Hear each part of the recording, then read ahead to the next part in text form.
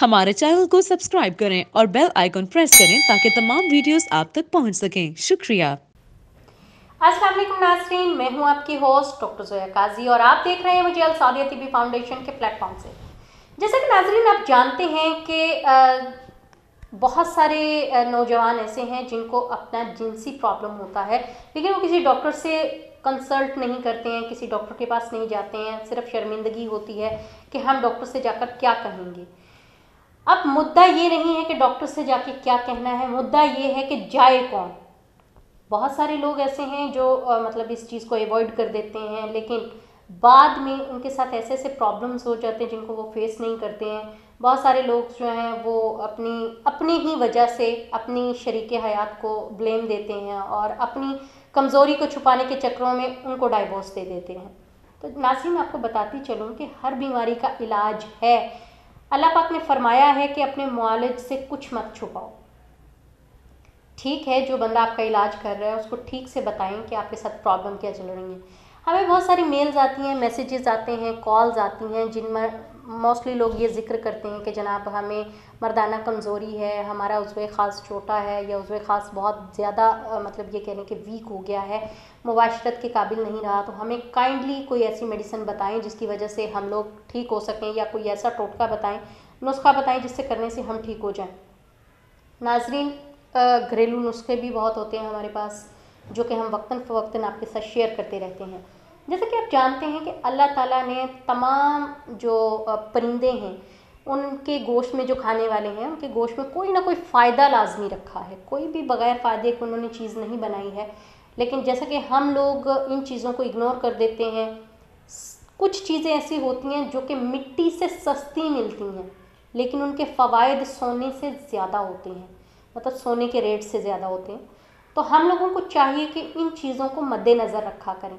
क्योंकि हम लोग समझते हैं कि जी इसका रेट कम है तो मेरा नहीं ख्याल कि इसका कोई फ़ायदा भी होगा। हाँ ये हम लोग सोचते हैं अच्छा जी, ये ब्रांडेड फॉर एग्जांपल हम ब्रांडेड चीज़ों की तरफ़ ही आ जाते हैं कि एक जो कपड़ा हमें थाउज़ेंड का या फिफ्टीन हंड्रेड का मिल जाता है, लेकिन हम ब्रांड के चक्रों में वही कपड़ा कम से कम दस हज़ार रुपये का लेते हैं तो सेटिस्फेक्शन होती है हमारी अच्छा जी ब्रांड का तो पहना हुआ है ना।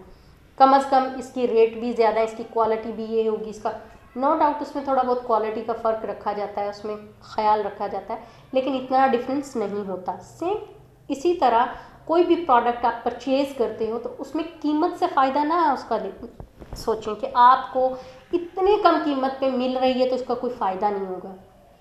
आम सा परिंदा है हमारा चिड़ा। चिड़े को आप जानते हैं कि इसका गोश्त खाने से आपके अंदर जो मर्दाना ताकत पैदा होती है, जो आपके मर्दाना कमज़ोरी है, वो दूर होती है। चिड़े का गोश्त जो है ना, वो बहुत ही फ़वाद का हामिल है। देखने में एक छोटा सा परिंदा है, बहुत सस्ता भी है, लेकिन इसके फ़वाद सोने के रेट से ज़्यादा है, जो कि आम लोगों की समझ से बालातर है।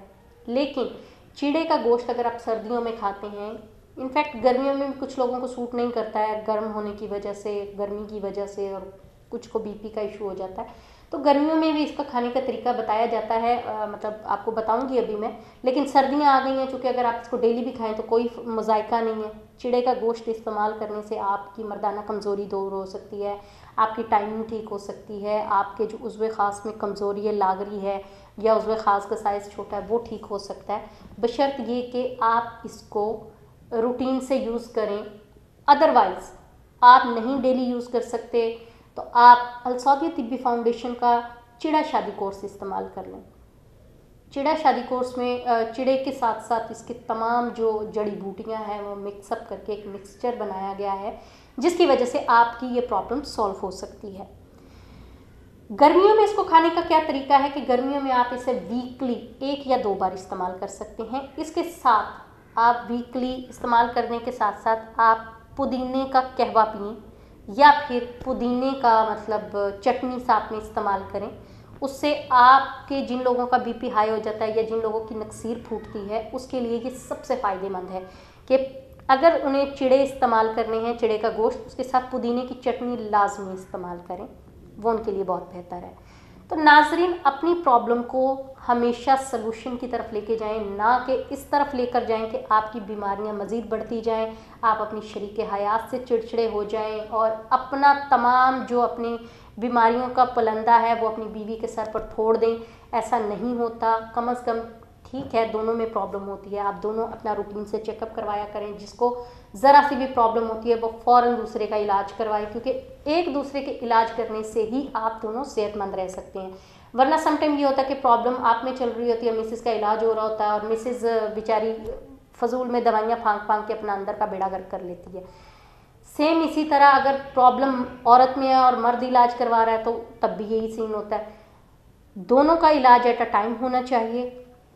क्योंकि समटाइम ये होता है कि अगर मिसिज इलाज करवा लेती है तो वो सिम्टम्स इलाज से पहले ही शोहर को लग चुके होते हैं, शोहर को नहीं पता होता तो वो बेचारा अपना इलाज नहीं करवाता मिसिस का करवाता है लेकिन जो उसको सिम्टम्स लग चुके होते हैं, वो दोबारा सेक्चुअली रिलेशन बनाने से दोबारा बीवी में मुंतकिल हो जाते हैं। इसलिए जो मिसिस को बीमारी इंटरनली होती है, उसका दोनों इक्वली इलाज करवाएँ, ताकि आपका जो है ना नॉर्मल ट्रीटमेंट हो सके कम पैसे लगें और साथ ही साथ आप दोनों एक दूसरे के साथ हैप्पीली टाइम स्पेंड कर सकें और आने वाली बीमारियों से बचें। उम्मीद है आपको मेरा ये वीडियो पसंद आया होगा।